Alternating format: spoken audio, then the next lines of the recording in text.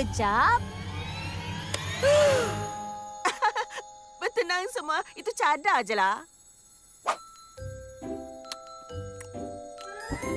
Ya, cadar saya. Terima kasih, Izzy. Saya rasa sangat-sangat ketakutan sekarang ni. Tak tahulah kalau saya boleh tidur. Wah, uh, tutup je mata awak. Kira biri-biri dan... Kilauan, kilauan, kilauan, kilauan, kilauan, kilauan.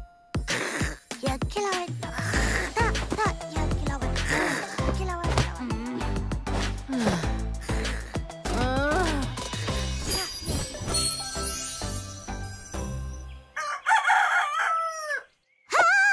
begini unicorn menyanyi pada waktu pagi.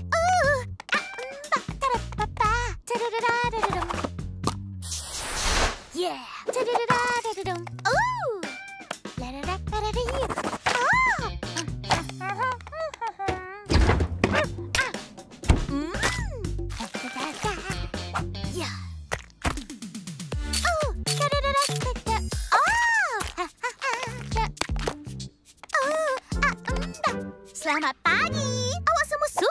Bangun pada pagi yang baru yang sangat baru dan terang? Tarapapa, taradadadadadam. Bangun pagi. Kami tak tidur pun. Eh, itu kan tiara saya.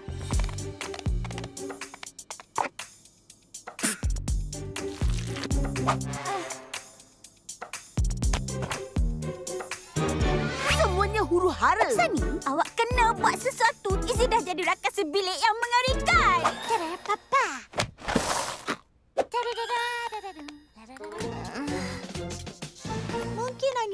Baik sebab mereka tak dapat uh, tidur langsung dan uh, mana berus gigi saya? Eh, Sani, saya suka pembersih telinga awak ni.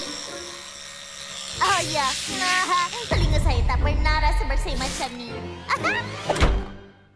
Okey, kita kena buat sesuatu. Tapi bersemuka dengan Izzy rasa sangat janggal dan memalukan. Oh, jom tanya Hitch. Dia tahu apa nak buat.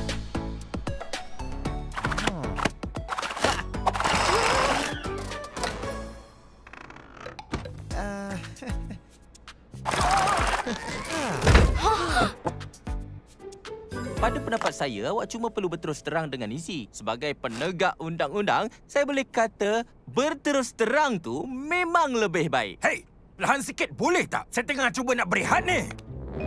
Tunggu sekejap ya. Oh, baik betul awak. Kegemaran saya. Terima kasih, H. Dan maaf saya ganggu awak. Kadang-kadang hadiah yang ikhlas boleh hasilkan keajaiban.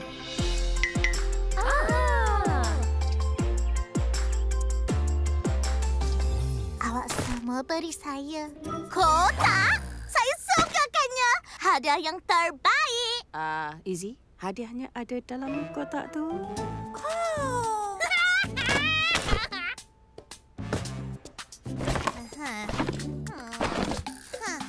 Barang awak sendiri. Jadi awak tak payah guna barang kami dah. Sebab kami dah mula rasa rimas. Hei, berterus terang tu lebih baik kan?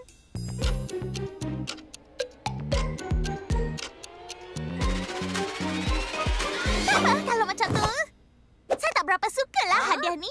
Terus terang. Saya cuma ambil suah foto sarapan saya macam Pip, buat rambut saya macam Zip, gosok telinga saya macam Sunny. Saya tak pernah tinggal dengan kawan sebelum ni. Saya cuma nak sesuaikan diri dengan awak. Ha. Kami patut berterus terang dari awal. Izzy, awak tak perlu cuba nak ikut retak kami. Awak dah hebat dengan cara awak sendiri.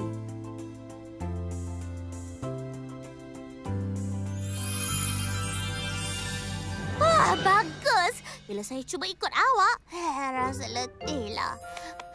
Saya nak tidur.